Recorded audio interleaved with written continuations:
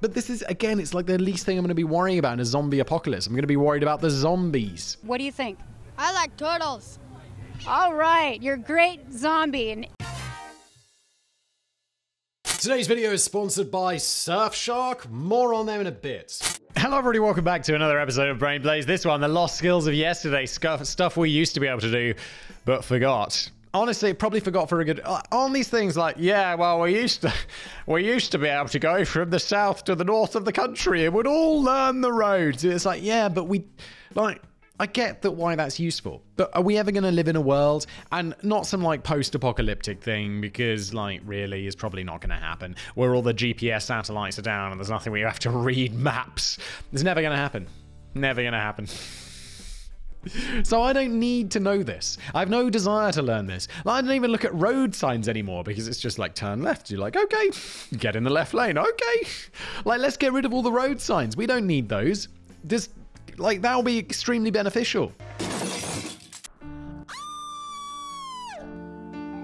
Saves lots of money, like not having to put up all the road signs. Also, if a country gets invaded, then uh, there's no there's no sign. You Just you know take down GPS or whatever somehow, like hack the mainframe. I don't know. That's a good idea, isn't it? Just take the, or like put up wrong road signs.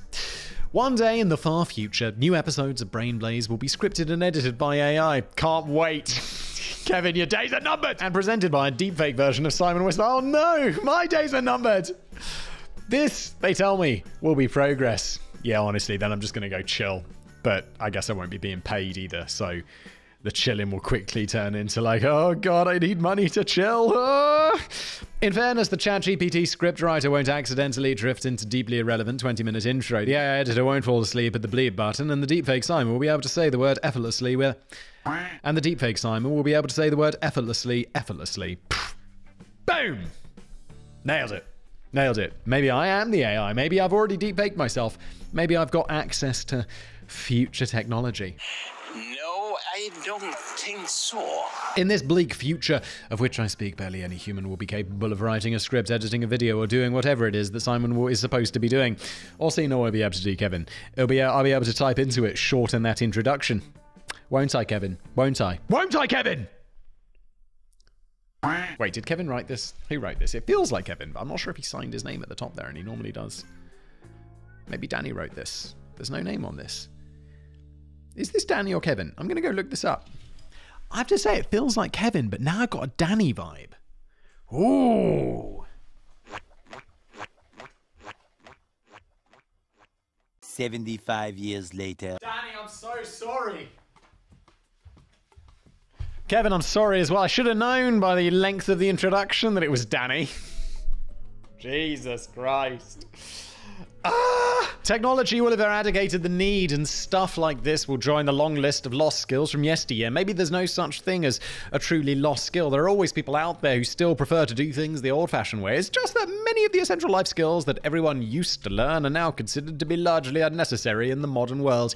Thanks to advances in technology and improvements in efficiency, there's no great need for little Timmy to learn how to track and hunt animals, butcher a carcass, forage for food, start a fire with sticks, dig a well, or rewind a cassette. Yeah, no one needs this stuff. This is all complete. There's never going to be a time when cassettes are going to be necessary. Hold up. Wait a minute. But one concern here is the human race used to be entirely self-sufficient, yet now we're happy for technology to shoulder all of the responsibility. Yeah, it's all right, of course. People who make this argument, I'm sure Danny's going to be like, oh, you know, this is really good. And I'm like, I'm totally happy to let technology shoulder the responsibility. Like, this is being recorded on a camera with a little hard disk plugged into it. I'm not like spooling up film and like having a dude being like, okay, Simon, and now we're going for take seven and wheeling some like giant thing. That's how it used to work in the past, right? Like, I don't know, because technology's awesome. What would happen in the event of a catastrophic disaster crippling the power grid and leaving us to fend for ourselves again? I don't know. We'll be fine. We'll figure it out. Or, or we'll die.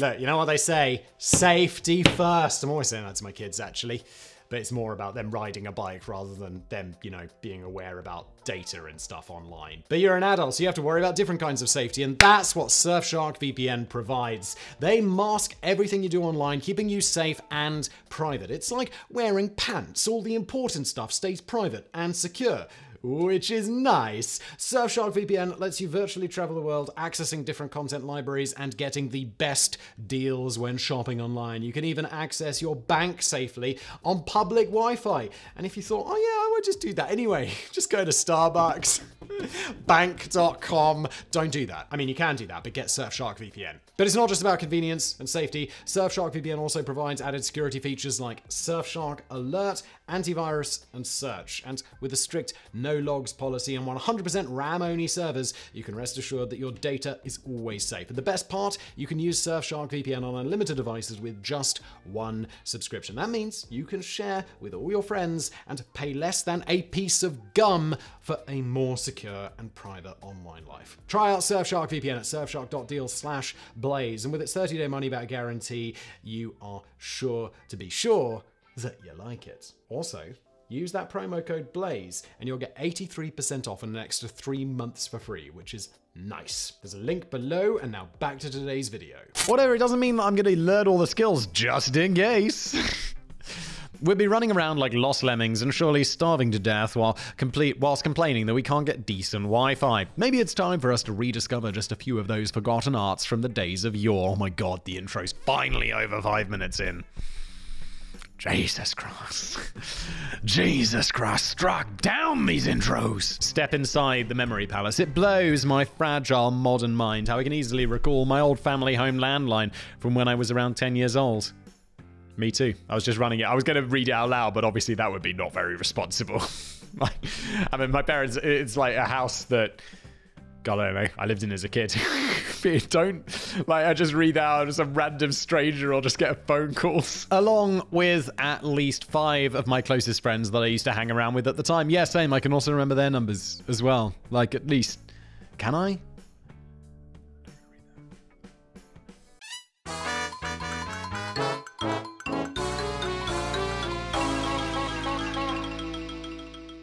No, those are kind of fading on me. No, I don't really remember those. I mean, I can remember bits of them, but I wouldn't feel confident. That reminds me, I really should give Chip Shop Barry a bell to see if he's coming out to play. Hi, it's Chip Shop Barry there. Who the f is Chip Shop Barry? He moved out 20 years ago, Danny. Nowadays, I couldn't recite the telephone number of any of my family or closest friends. It took me about, yeah, I don't even know my wife's mobile number. And she's like, yeah, I memorized your number just in case I'm stuck somewhere and my phone's out of battery and I need to call you. And I'm like, that's probably a good idea. I should probably memorize that. I sometimes also wonder if there's someone to be like, what's your phone number? I'll be like, uh, yes, I got it. Okay, I'll tell you. I don't know. But taking this several levels deeper, is the human memory not as good as it used to be? And did the introduction of the printing press really make us lose all of our memories? Of course, the reason that we don't memorize telephone numbers anymore is because we don't need to. We just don't need to dial the correct sequence to make the call. Or we can all leave the complicated stuff to the mobile phone after we've clicked a button to save a new contact. So much easier. But a worrying side effect of handing over all of this burden to technology is that you could become potentially screwed in a crisis. If your own mobile phone was lost or damaged during an emergency situation, would you know the telephone number of any of your emergency contacts? My wife would be like, yes. And I'd be like, no. Someone from a period as recent as the 1980s, I'd be like, well, I guess I got to get to an internet cafe somehow and try and remember my passwords, which are also handled by technology because they're on a password manager, aren't they? This will be a disaster. I'll be like, well, I guess I'm screwed. It's time to start a new life. Someone from a period as recently as the 1980s would be fine as long as they could find a phone booth, as they'd have all the important numbers stored in their head. But somebody in trouble today, suffering the side effects of digital amnesia, is unlikely to have the foggiest clue. Realistically, nobody in the modern age is expected to store a mental Rolodex of every phone number that they might ever use, but it's recommended that you at least try and memorize the numbers of your crucial emergency contacts. The best way of doing this, I think if I was stuck outside, I'd be like, okay, how am I going to figure this out? Okay. Well, uh, do I have any money though? Not having money is a big issue because then you'd be like, well, how am I going to get money? I would kind of be screwed. I'd kind of be a little bit screwed. I think you can go into the bank and show, but then you got to show your ID. I have no idea what I'd do. Hello, how are you? I am under the water. Please help me. I should sort it, but then if you don't have any money, what are you supposed to do? Hi, can I borrow your phone? To a stranger on the street. I am I'm way too like not comfortable doing that to do that. Go into a play, place of business, be like, "Hi, I need to make a phone call." It's a local number. I would not be comfortable doing that. I don't know what I'd do. I'd guess I'd just go home and stand outside my apartment until my wife comes home, or whatever point that might be. Or I'd go to one of my friends' houses and just hope they're in. Not that I really necessarily remember. Like, I live in a city, so it's not like you know exactly where your friend's house is. It's like, hey, did he live on that street or that street? Because you just go there by GPS. oh my god, I'm just realizing how Danny's correct, and I take it all back. I'm gonna go learn my wife's phone number. But then what would I do? I wouldn't have any money to make a phone call. And where do I make a phone call? There are no phone booths. Well, we're fucked. Maybe I'll just get a spare phone and hide it somewhere? But then it's not going to be charged, is it? Oh my god. The best way of doing this is to make sure you only dial those numbers manually by hand until you've reached a point where you're f- when you've fully absorbed them. Or just memorize them. It's not that hard. Just be like, okay, I'm going to memorize this number. It's only nine digits. Oh, or however many digits are phone numbers are in other countries. It's not that hard. I've been testing out this method recently, and it only took about three weeks for me to completely memorize the phone numbers for Granny Wobble's Fudge Pantry and Sweaty Joe's Greasy Kebab Parlor. Now, kebab parlor. Parlor sounds so fancy next to the word kebab. So I'm pretty much fully prepared if it ever hits the fan. On the whole, maybe it's a good thing that we don't need to fill up our memory space with a big bunch of numbers anymore, or we can now use that space to remember all of the many different passwords that we use for all our different online logins, which I'm sure we're all very good at. No, because everyone uses a password manager, Danny. But it's possible that people from thousands of years ago would have no trouble at all in remembering every telephone number that you'd have ever needed if only the telephone had been invented a bit earlier. And I realized my initial plan of going to like finding an internet cafe, or if you don't have any money, going to like a library and sitting down at one of their computers, which I'm sure are disgusting and I'd never touch. I don't know, maybe libraries are not that bad. I'm a bit like not into touching things. Um, little bit of that going on. Like the not like, is it germophobia? I just don't like like I'll use my jacket on the handles and stuff. I'm just not into that. And I but I'd you know bite the bullet. I go into the library do- and then I realize well you know you'll be like okay well I'm just going to log into my email because that I'll find a phone number in there that I can call or I'll log into my Skype or something like that and it- it'll work out or my iCloud. And then I realize oh but I don't know any of these passwords. Like well I'll just log into my password manager. And then it's like yeah but use two factor authentication and then you're like then that's on the phone. I had no idea this episode would lead to such strong ranting. God, I'm totally convinced, Danny. You're so right. Let's all go back to the past. I don't be here no more. Take, take me back. The fuck? And that's because their memory skills are quite remarkable in comparison to our own. Long before the use of writing became widespread in ancient Greece, the only way of passing on teachings or stories was orally, and so you needed to have an amazing memory to get everything right. It's speculated that the works of Homer weren't actually written down for the first time until hundreds of years after Homer first recited them, so their existence today is only down to the bards who memorized every line of the original epic works and passed them down the generations. Even as late as the medieval period, it wasn't uncommon for troubadours to perform works which went on for hours or even days, all recited entirely from memory. Shadows creep and and phantoms leap. Brilliant. I know. It's a gift. Speaking as someone who would struggle to accurately recite just one segment from the last Brainblaze script, I find this quite incredible. But back in the pre printing press days when handwritten books were hard to come by, having a good memory was essential for anyone who wanted any kind of education. Yeah, I think Danny titled this section The Memory Palace. Just learn how to do a memory palace, and then you can remember whatever you want. I must have brought up this story before. I once just memorized pi to like 100 and something digits using a memory palace. It's not even hard. It just takes like, uh, you just, okay, done. It's not, I was, I was on a skiing holiday. And on the ski lifts, I was just doing that, you know, while you're waiting to go up and you're just like, mm, mm, mm, mm, mm. and I was like, cool, let's just do this. And I did that. I've told this story before, I'm sure.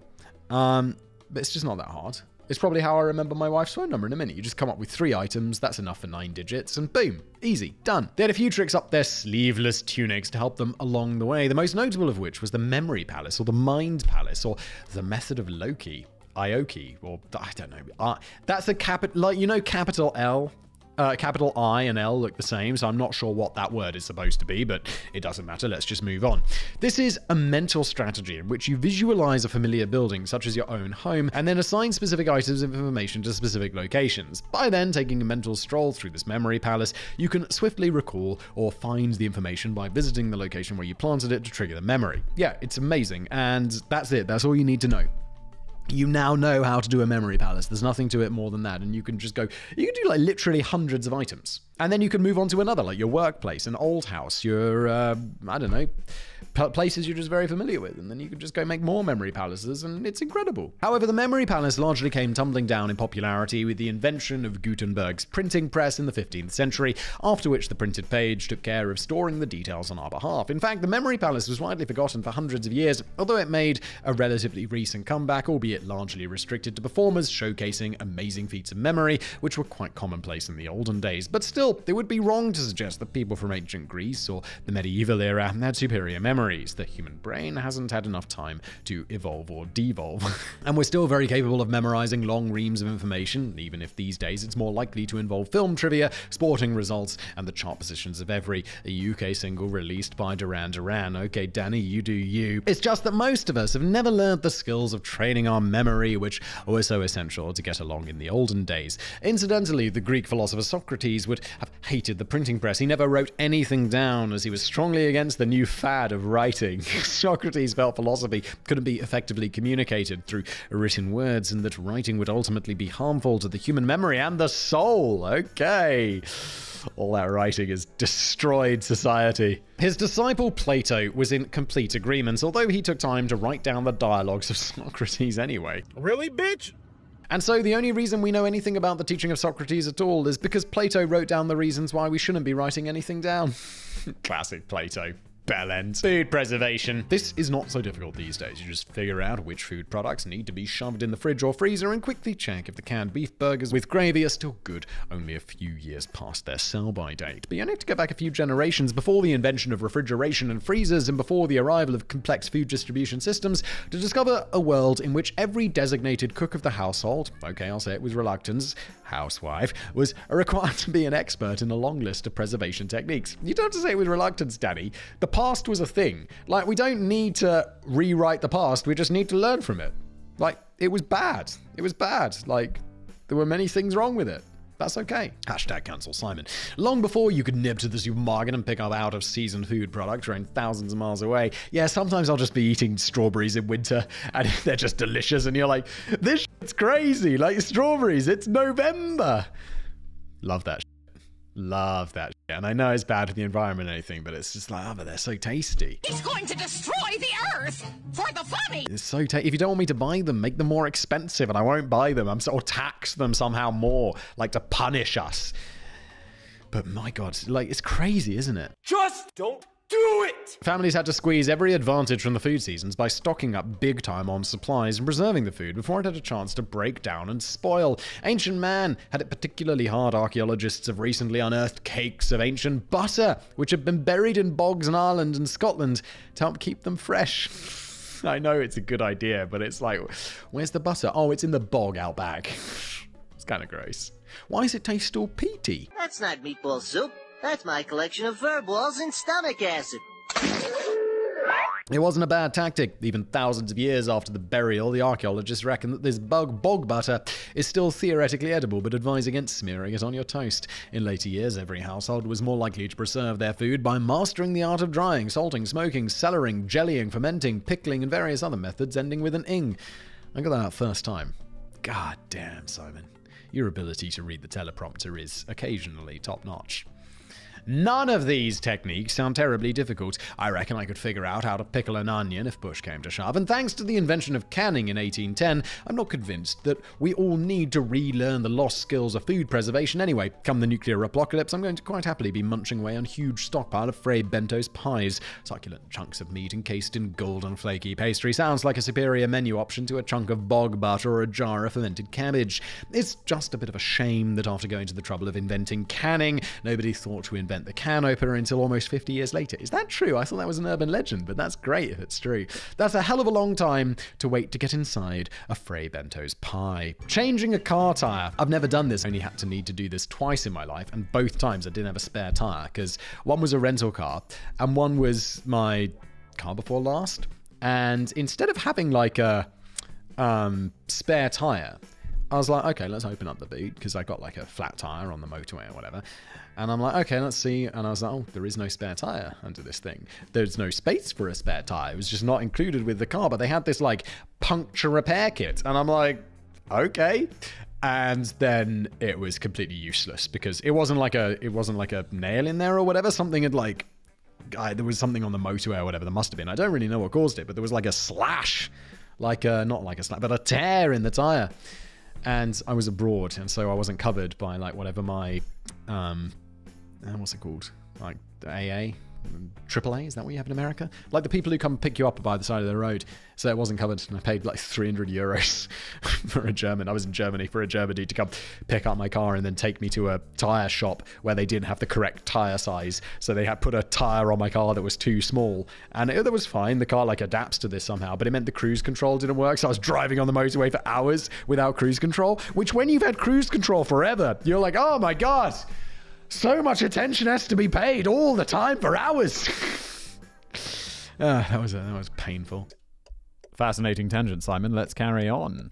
I'm hardly in a position to criticize here, as I've never even learned how to legally drive a car, never mind change a tire in emergency. Legally drive. It sounds like Danny's just illegally driving all the time, doesn't it? But I was surprised to hear that this is an evolving this is evolving into a lost skill, even though it's apparently relatively easy. If you go back a few decades, oh, there was another time.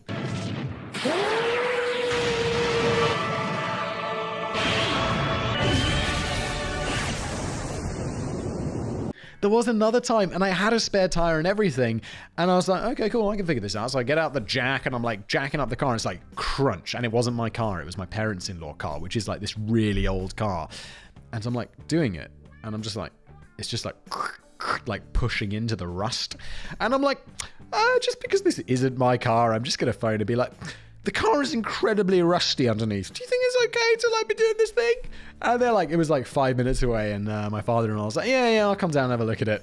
and he's like, yeah, let's just go. And it's like just crunches through the rust. it's like, okay. Swaps out the tire, easy does it. If you go back, it's so there's three times, and no, I've never done it. So I guess I am in the lost skill of not being able to do this, even though I'm fairly sure I can figure it out. Also, just be like looking up a YouTube video on how to do it. Easy. If you go back a few decades, only men drivers were expected to know how to change a flat tire. Women were supposed to just stand at the roadside and look helpless. But nowadays, men are equally likely to have adopted this skill of standing at the roadside and looking helpless, or at least call for professional roadside assistance, which has improved dramatically over the last few decades. Also, you're just aren't you much less likely to have a tire pop? Oh, well, I've had it happen to me three times, so I guess it's not that unlikely. According to a 2018 poll conducted by British TV show Flipping Bangers, whilst almost half of the respondents aged over 36 felt confident about changing a car tire, almost three quarters of millennials reckon that they wouldn't know where to start. Despite this, the same poll revealed that more young drivers than old drivers rated their knowledge of car maintenance as excellent. It's the ignorance of ignorance, which perhaps tells its own story. Oh boy, does it. This one is unusual as it does it. It's pro- this is exactly what I just said, isn't it? I'm, I'm a millennial myself and I just realized, this, I would figure this out. What can this be? This one is unusual as it doesn't appear to have anything to do with advances in technology making an old skill obsolete. It's more to do with a general vibe that young people now seem to prefer to leave the dirty work to specialists who know what they're doing rather than tackling anything themselves which I completely agree with. Like anything like maintenance wise, I just don't do. Like I have a man, and we phone him up, and he comes to the house, and he'll fix it. And it's like, like my dishwasher broke, my boiler broke, and it's like, well, yeah, there's people who do this. You phone them up, you pay them some money, and they fix that shit. And most of the time, it's not something I could fix anyway. Why didn't you just call the guy? Like, uh, not my dishwasher, my dryer broke, and it was making it was, or it was just making this crazy sound. It's like, Wah! like anytime it was drying stuff. And the man comes around and he's like, yeah, the motor's gone. I could never have fixed that. It's a motor. He takes out this giant motor, he puts in a new motor, he charges me a large amount of money, and he leaves. Like, I couldn't have done this. What do you want from me? The same poll revealed that a third of millennials wouldn't even feel confident about opening the car bonnet. Oh, come on. I at least know how to do that. Like, I don't know how to fix anything in there. But I don't want to be the person who's like, the car breaks down and you're like, well, I guess we'll just call the AA. I at least want to be able to go to the front of the car, pop the thing open and be like, poke around a little bit, pretend that I know what's going on and be like, gonna have to call the AA. This is a little bit beyond me. And then the AA man will come and be like, you just needed more coolant. Oh no. Oh no. Um, while nearly half to how to top up their screen wash. Okay, that's a little bit embarrassing, guys. You should know how to do that. Maybe not. Although not that I really have to do it because every time you send in the car to get serviced, they put new screen wash in there. I think I only had to do this once when I was like took a really long drive and the dirt it was always getting dirty. I was constantly using it. It ran out and they had to put a new one in there. It wasn't hard to figure out. But almost every other time they just do it when you send it for service. I don't know. Moving away from the vehicle, millennials are also showing similar disinterest in learning basic DIY skills. Twice as many older people will attempt to fix a leaky tap. Yeah, no chance. Not, no idea how to do that. Or whilst three times as many feel confident about changing a plug. I don't think you're legally allowed to change plugs anymore. I think they made that illegal. And also, you can't change like European plugs. That you you don't change those. They're just how they are. Also, in comparison to older generations, dramatically fewer millennials would be able to put up a shelf, unblock a sink, bleed a radiator, change a light bulb, or presumably wipe their own bottom. Things I can do from that list. Unblock a sink, I've done that. Bleed a radiator, I've done that. Change a light bulb, done. I've done all of this stuff. I've even wiped my own bottom. All of this would seem to indicate a prosperous future for breakdown cover providers, plumbers, and professional light bulb changers. The only reason I bled a radiator is because one time, like, my boiler was making some crazy ass sounds. And um, it was, you know, that pressure thing was just in the red. And I was just like, oh my God, this is going to blow up. So I Googled it and it told me how to bleed a radiator. And I bled my radiator and the pressure just kept going up. My anus is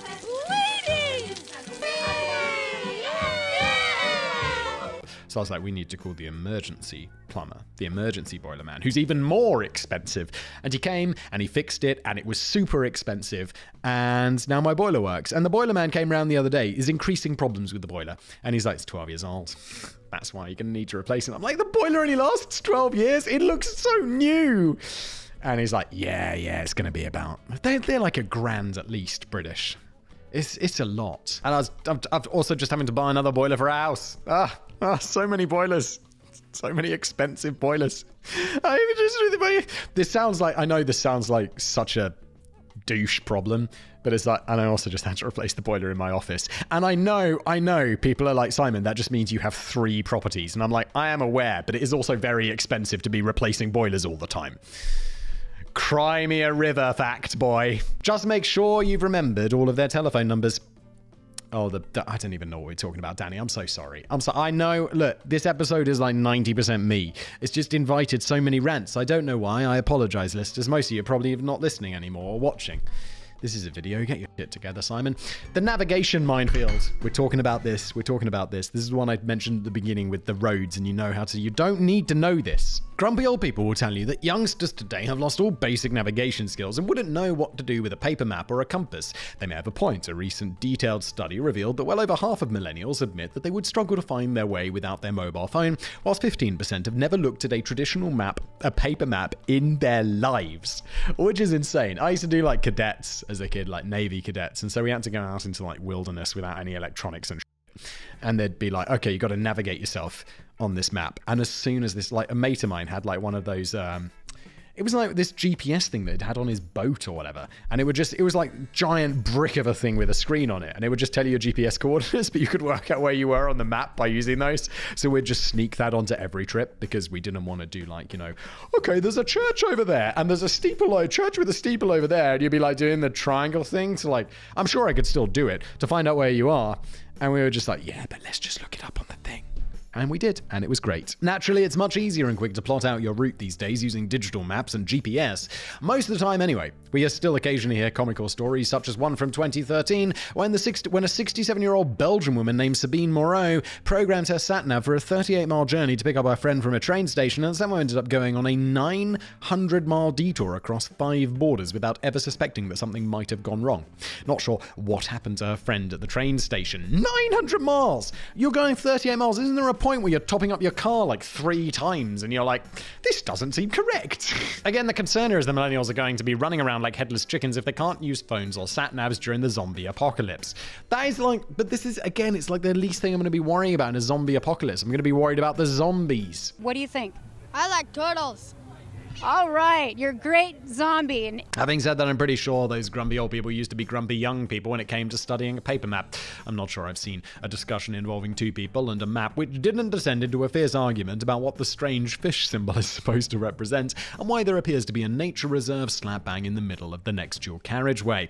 There are still some advantages of using a paper map. For example, you can get a much bigger sense of your overall surroundings, which just isn't possible on a restricted view of a small screen. But before the grumpy old people get too high and mighty, here's another thought. Was it actually the widespread use of paper maps that led to the human race losing some of our basic navigation skills? Maps have been around for thousands of years, but they were harder to come by back in the day when you couldn't just pick up a mass produced map from the 24 hour garage.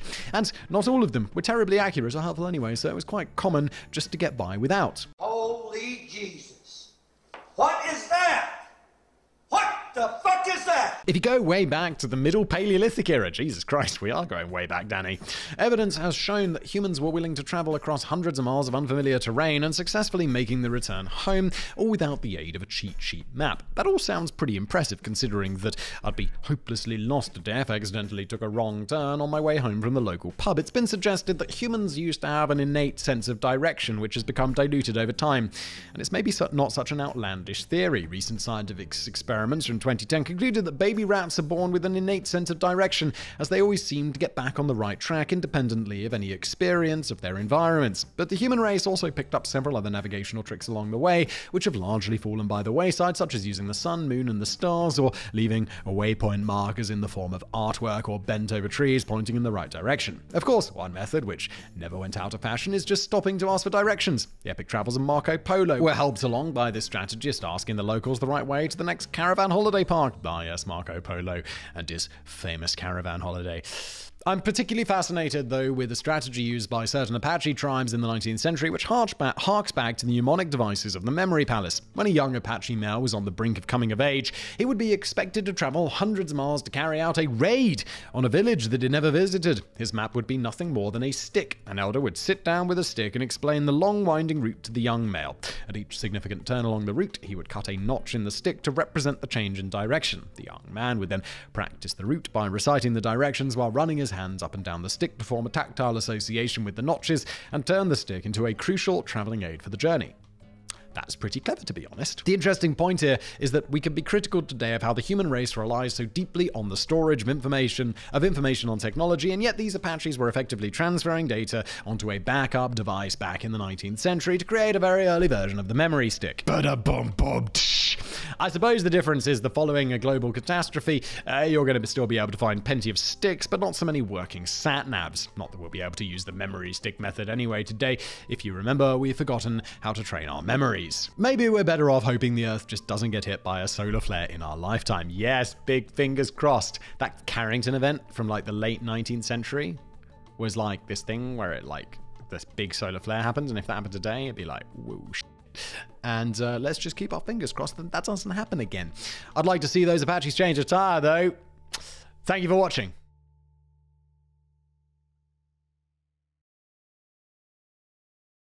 Maybe I've got access to future technology.